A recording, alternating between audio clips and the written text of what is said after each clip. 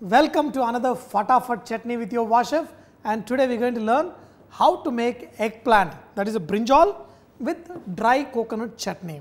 So first for this I am going to cook the eggplant separately and just take some oil and I have cut the eggplant just put it in the water so they don't discolor. In the oil we are going to add this eggplant and add pinch of salt and we are going to cook it in between we are going to mix it, but we want to make sure that the eggplant is cooked till it is soft. I am going to take another pan first in this pan I am just going to add dry coconut just cut them into lengths. I am going to cook this till you can see slight brown coloring on this that will give a very nice flavor and aroma to this chutney and dry coconut is usually much sweeter. Hmm. So, I am going to let this cook. And while this um, coconut is getting cooked here, just I am going to make sure that this eggplant is mixed once in a while so it is nice and fried well. Look at the coconut, it is slightly colored brown. That is when we are going to take this in a plate. Now, we are going to add the rest of the ingredients and uh, cook them. So, first red chilies, coriander seeds. Also in this if you want you can add little bit of oil, not too much just very little oil and uh, oil helps these things roast much faster and also evenly roast them. And this is slightly roasting, in this we are going to add cumin seeds, sesame seeds and also we are going to add tamarind. And in this we are going to add some turmeric and switch off the flame okay?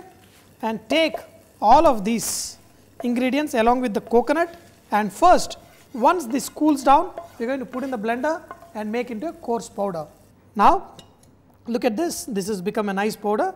And now the eggplant is also become nice soft, just the eggplant. You do not need to um, you know add the oil also in this, just the eggplant.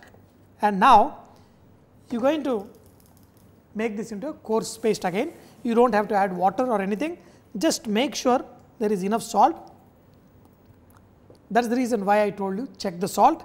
Now I added some salt and now we are going to just run the blender for a second and your chutney will be ready. Now you should be able to see the eggplant pieces, so do not make it into a paste, just run the pulse once so that all the masala coats the eggplant and this is what is an awesome you know chutney.